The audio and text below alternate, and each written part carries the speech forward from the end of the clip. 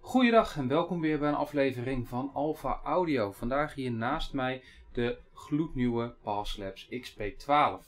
12 is de opvolger van XP10, die nu al een tijdje op de markt is.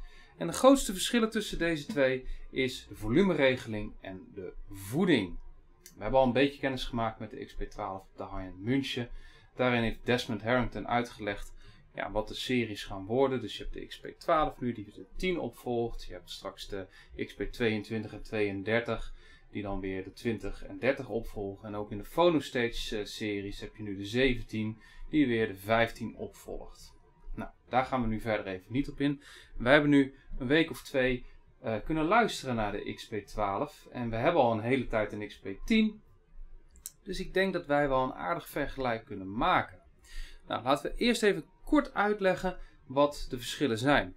De volumeregeling hebben ze gepikt van de XP30. Hele mooie volumeregeling.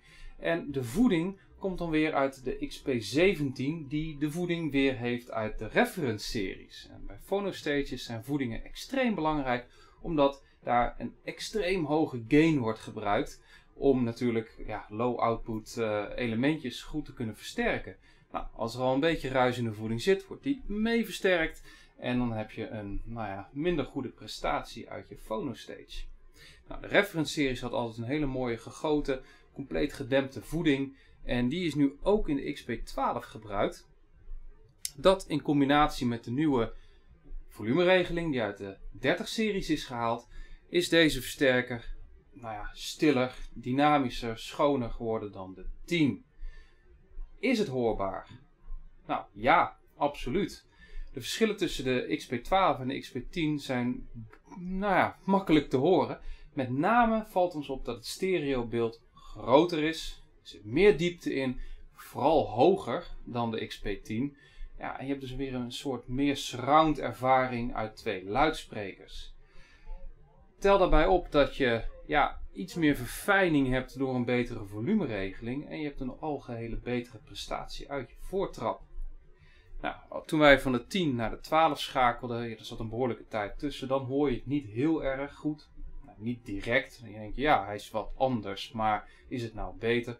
Toen we weer teruggingen naar de 10, hadden we wel zoiets van, wow, um, ja, de 10 lijkt iets meer attack te hebben, maar het is ook wat rauwer. En het is vooral, nou ja, platter klinkt een beetje, ja, disrespectvol naar een XP10 voor versterken, maar het stereobeeld van de 12 is gewoon groter. En dat is goed te horen als je van een 12 weer teruggaat naar een 10. Prijs is ook omhoog. Was de XP10 toen wij hem kochten 6750 euro. Deze gaat op 7500 euro zitten. En dat is wel een prijsstijging van 750 euro. Dat is significant, vinden wij. Maar ja, we leven in een economie waarbij allerlei valuta omlaag kelderen in waarde. Dus ja, er is bijna geen ontkomen aan dat apparatuur gewoon duurder wordt. En ja, deze klinkt wel weer beter. De review van de XP12 komt zeer snel online. Bedankt u weer hartelijk voor het kijken. Tot de volgende keer.